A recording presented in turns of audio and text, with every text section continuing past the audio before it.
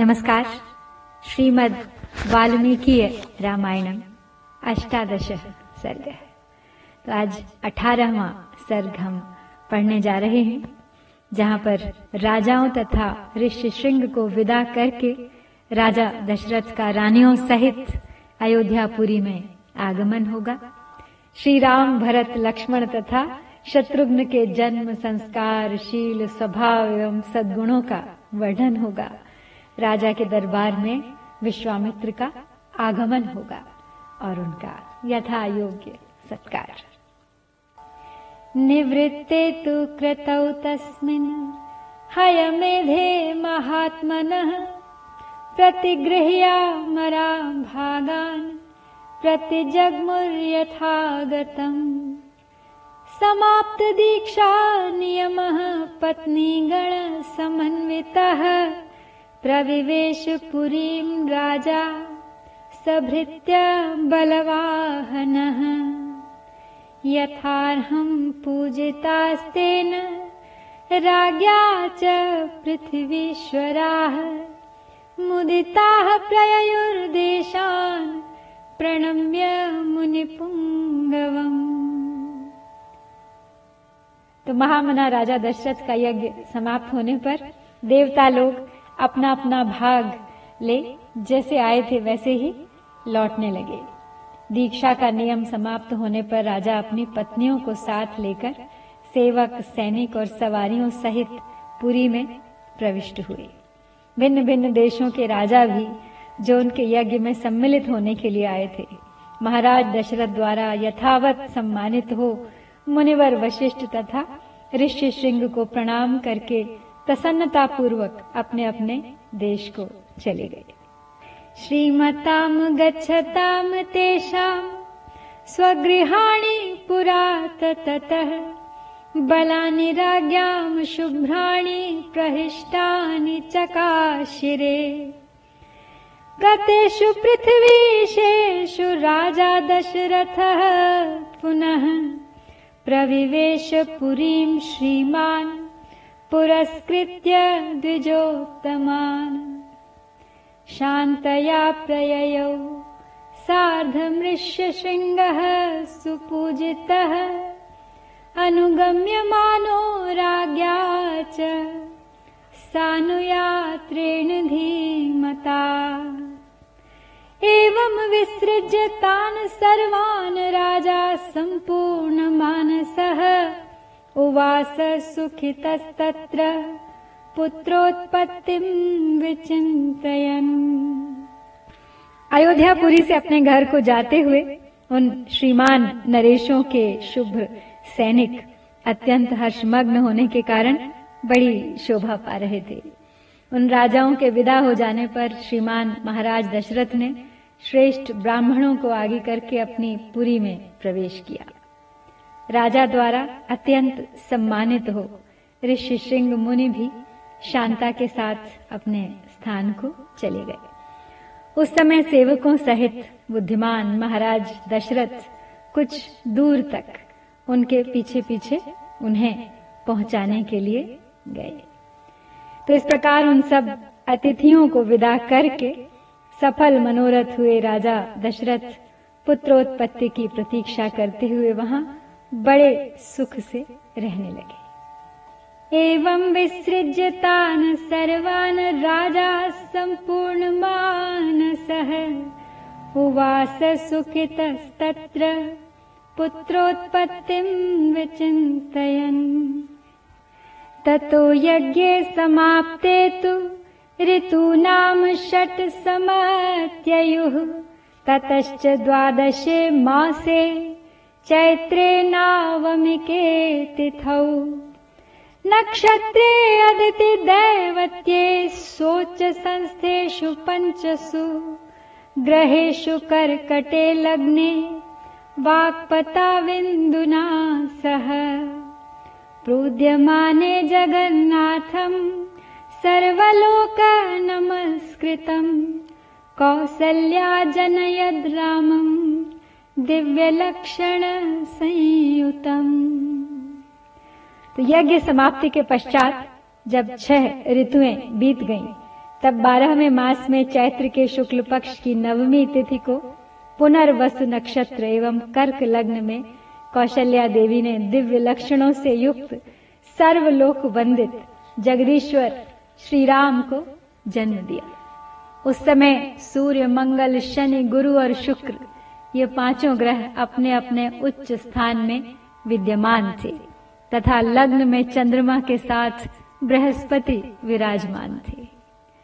विष्णोरर्धम महाभागम पुत्रमैक्ष्वाकुनन्दनम् लोहिताक्षम् महाबाहुम् रक्तोष्ठम् दुन्दुभिस्वनम् कौसल्या शुशुभे तेन पुत्रेणामित तेजसा यथा वरेण देवानामदितिर्वज्रपाणिना भरतो नाम कैकेय्याम् यज्ञे सत्यपराक्रमः। साक्षाद् विष्णोश्चतुर्थभागः सर्वैः समुदितो गुणैः अथ लक्ष्मणशत्रुघ्नौ सुमित्रा जनयत्सुतौ। वीरौ सर्वास्त्रकुशलौ, विष्णोर्धर्म समन्वितौ। वे विष्णु रूप भविष्य या खीर के आधे भाग से प्रकट हुए थे। कौशल्या के महाभाग पुत्र श्री राम इक्ष्वाक कुल का आनंद बढ़ाने वाले थे। उनके नेत्रों में कुछ कुछ लालिमा थी। उनके होठ लाल भुजाएँ बड़ी बड़ी और स्वर दुंदुभी के समान गंभीर था। उस अमित तेजस्वी पुत्र से महारानी कौशल्या की बड़ी शोभा हुई। ठीक उसी तरह जैसे सुरश्रेष्ठ वज्रपाणी इंद्र से देव माता अदिति सुशोभित हुई थी। तदनंतर कैकेयी से सत्य पराक्रमी भरत का जन्म हुआ। जो साक्षात भगवान विष्णु के स्वरूप भूत पायस खीर के चतुर्थांश से भी न्यून भाग से प्रकट हुए थे। ये समस्त सद्गुणों से संपन्न थे। और उसके बाद रानी सुमित्रा ने लक्ष्मण और शत्रुघ्न इन दो पुत्रों को जन्म दिया। ये दोनों वीर साक्षात भगवान विष्णु के अर्ध भाग से संपन्न और सब प्रकार के अस्त्रों की विद्या में कुशल थे। पुष्ये जातस्तु भरतो मीन लग्ने प्रसन्न धी सार्पे जातौ तु सौमित्री कुलीरे अभ्युदिते रवौ। राज्ञः पुत्रा महात्मानश्चत्वारो जगिरे पृथक्। गुणवन्तो अनुरूपाश्च रुच्या प्रोष्टपदोपमाः जगुः कलम् च गन्धर्वा ननृतुश्चाप्सरो गणाः देवदुन्दुभयो नेदुः पुष्पवृष्टिश्च खापत। उत्सवश्च महानासीदयोध्यायाम् जनाकुलः रथ्याश्च जनसम्बाधा नटनर्तकसङ्कुला गायनैश्च विराविन्यो वादनैश्च तथा परैः विरेजुर्विपुलास्तत्र सर्वरत्न समन्विता। प्रदेयांश्च ददौ राजा सूतमागधवन्दिना। ब्राह्मणेभ्यो ददौ वित्तम् गोधनानि सहस्रशः। तो भरत सदा प्रसन्नचित रहते थे। उनका जन्म पुष्य नक्षत्र तथा मीन लग्न में हुआ था। और सुमित्रा के दोनों पुत्र आश्लेषा नक्षत्र और कर्क लग्न में उत्पन्न हुए थे। उस समय सूर्य अपने उच्च स्थान में विराजमान थे। राजा दशरथ के ये चारों महामनस्वी पुत्र पृथक पृथक गुणों से संपन्न और सुंदर थे। ये भाद्रपदा नामक चार तारों के समान कांतिमान थे। इनके जन्म के समय गंधर्वों ने मधुर गीत गाए, अप्सराओं ने नृत्य किया, देवताओं की दुंदुभियाँ बजने लगी, तथा आकाश से फूलों की वर्षा होने लगी। अयोध्या में बहुत बड़ा उत्सव हुआ। मनुष्यों की भारी भीड़ एकत्र हुई। गलियाँ और सड़कें लोगों से खचाखच भरी थी। बहुत से नट और नर्तक वहाँ अपनी कलाएँ दिखा रहे थे। वहाँ सब और गाने बजाने वाले तथा दूसरे लोगों के शब्द गूंज रहे थे। दीन दुखियों के लिए लुटाए गए सब प्रकार के रत्न वहाँ बिखरे पड़े थे।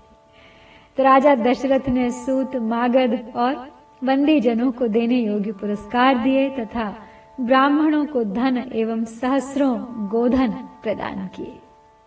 अतीत्यैकादशाहम् तु नाम कर्म तथा करो। ज्येष्ठं रामं महात्मानं भरतं कैकयि सुतम्।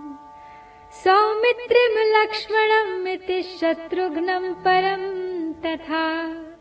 वसिष्ठः परमप्रीतो नामानि कुरुते तदा।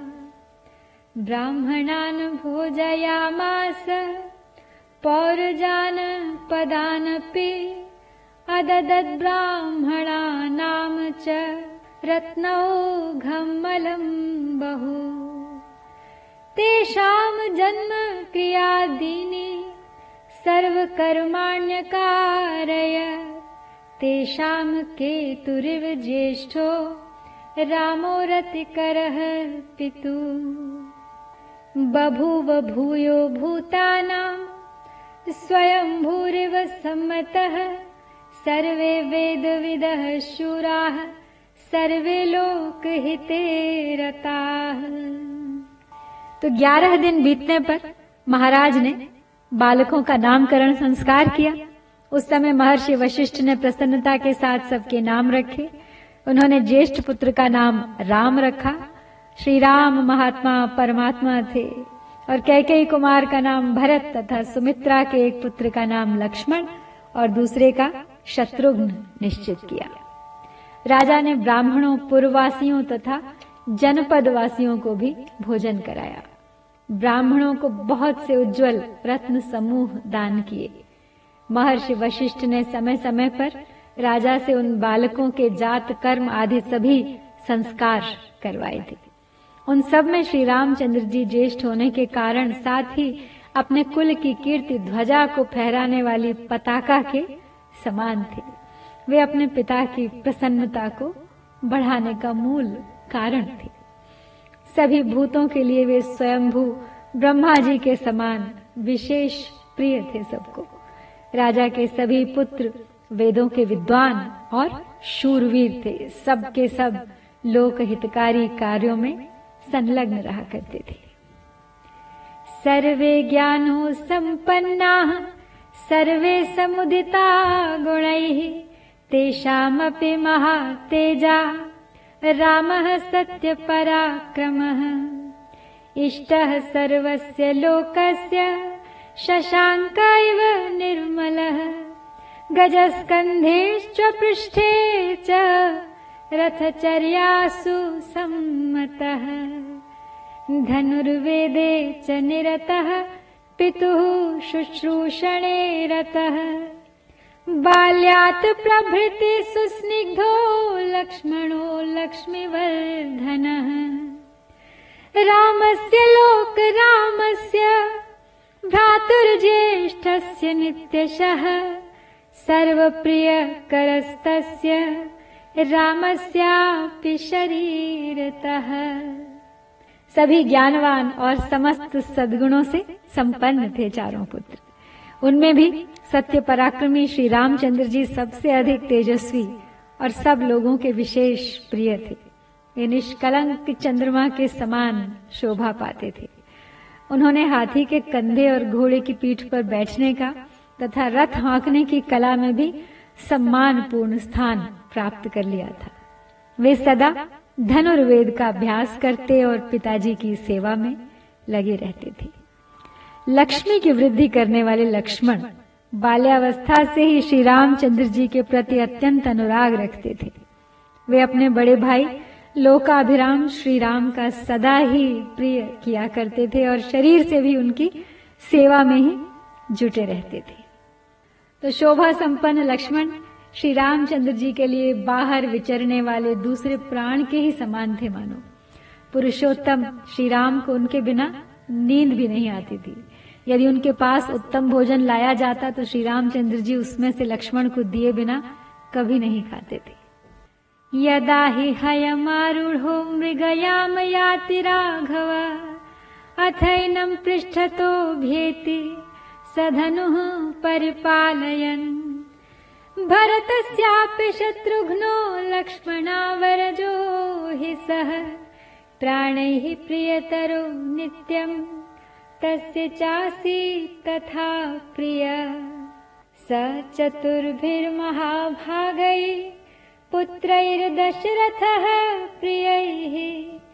बभूव परमप्रीतो देवैरिव पितामह ते यदा ज्ञानसम्पन्नाः सर्वे समुदिता गुणैः। ह्रीमन्तः कीर्तिमन्तश्च सर्वज्ञा दीर्घदर्शिनः। तेषामेवं प्रभावाणां सर्वेषां दीप्ततेजसाम् पिता दशरथो हृष्टो ब्रह्मा लोकाधिपो यथा।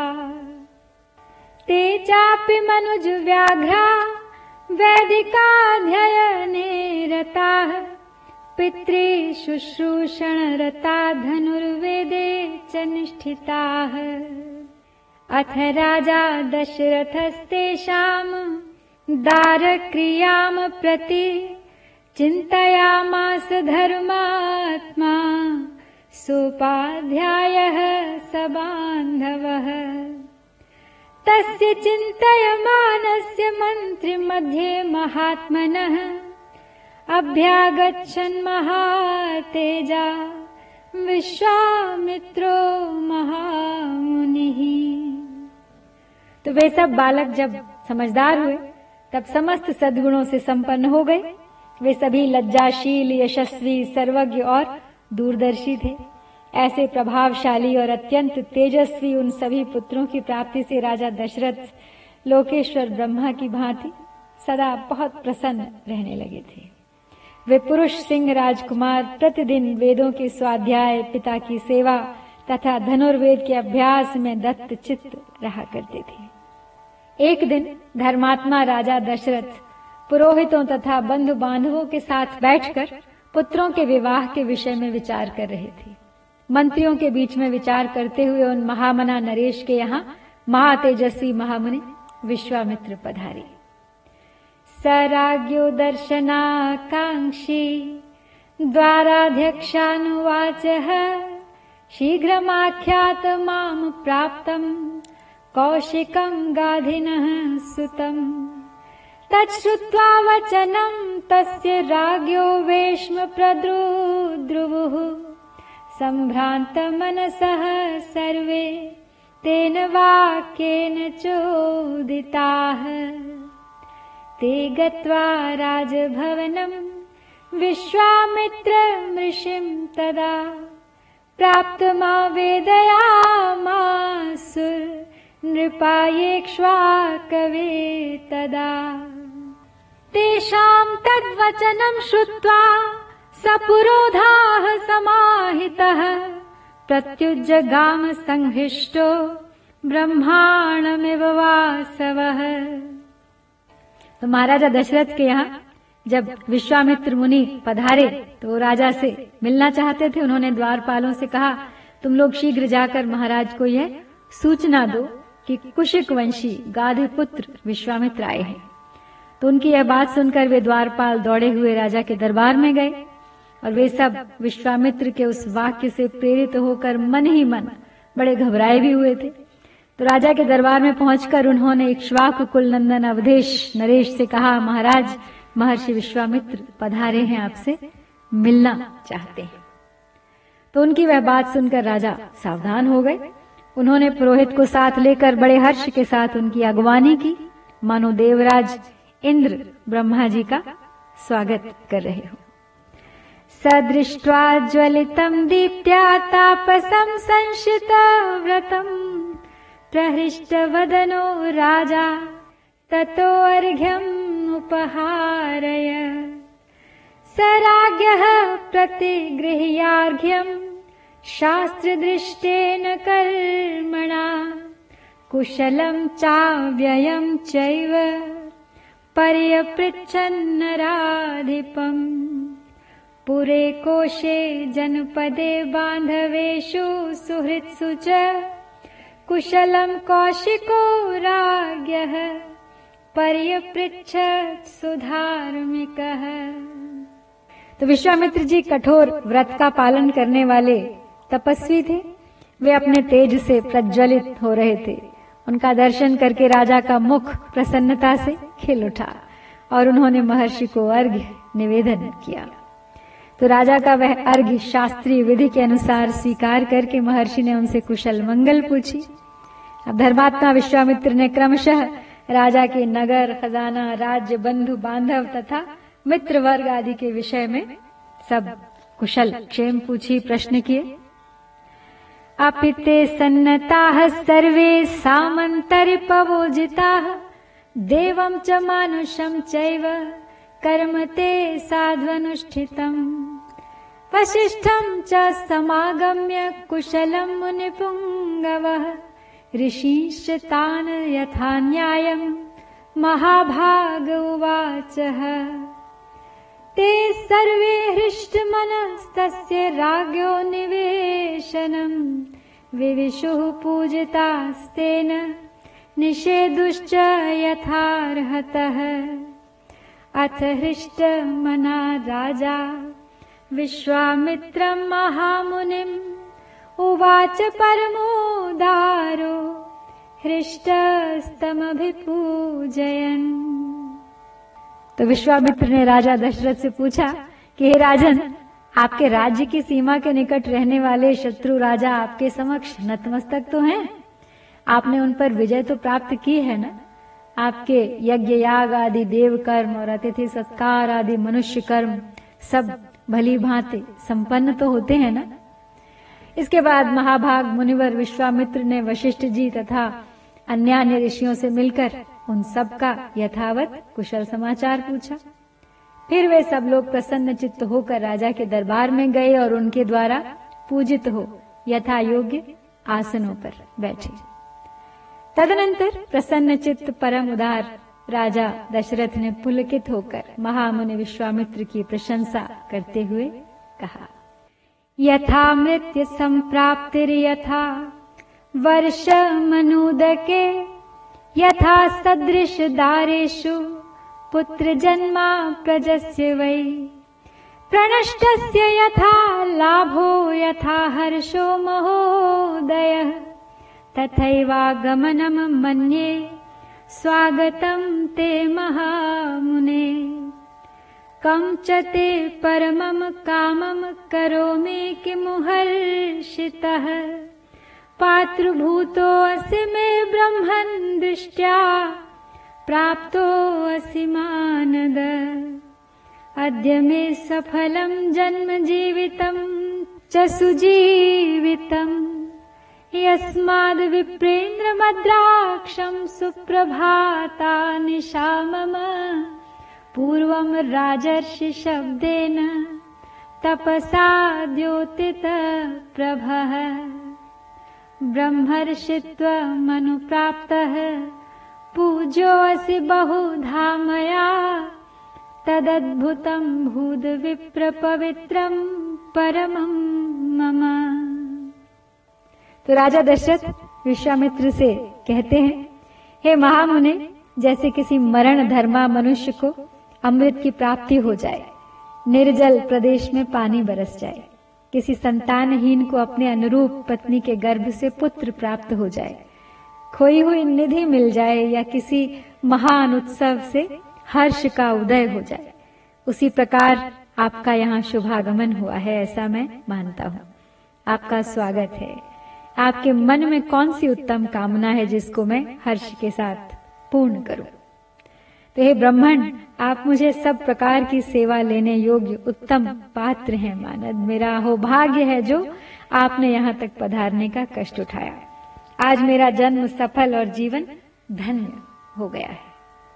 मेरी बीती हुई रात सुंदर प्रभात दे गई, जिससे मैंने आज आप ब्राह्मण शिरोमणि का दर्शन किया। पूर्व काल में आप राजर्षि शब्द से उपलक्षित होते थे। फिर तपस्या से अपनी अद्भुत प्रभा को प्रकाशित करके आपने ब्रह्मर्षि का पद पाया। अतः आप राजर्षि और ब्रह्मर्षि दोनों ही रूपों में मेरे पूजनीय हैं।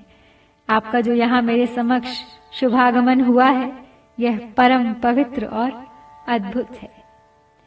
शुभ क्षेत्र गतश्चाहम तव संदर्शनात् प्रभो ब्रूहि यत् प्रार्थितं तुभ्यं, कार्यमागमन प्रति।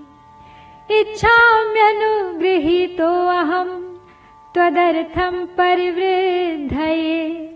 कार्यस्य न विमर्शं च गन्तुमर्हसि सुव्रत। कर्ता चाहम शेषेण दैवतं हि भवान् मम।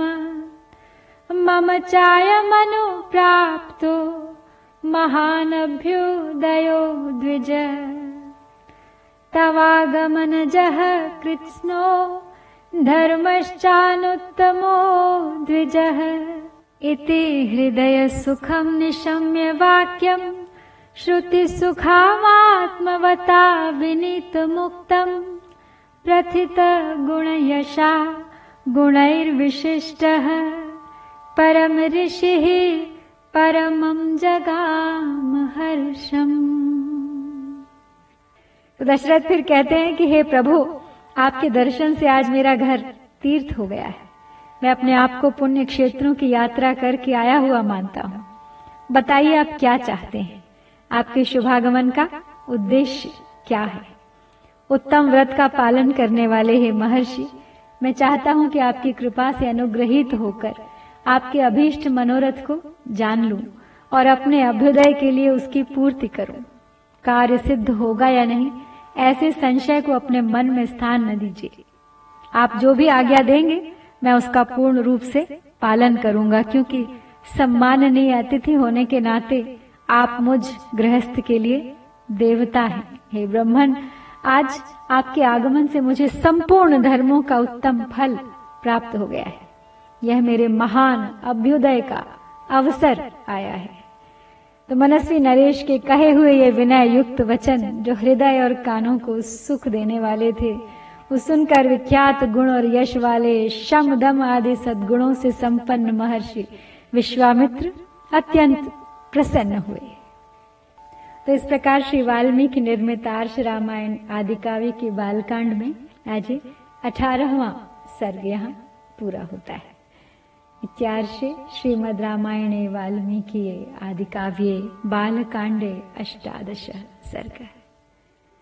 ॐ श्रीसीतारामचन्द्राभ्या नमः।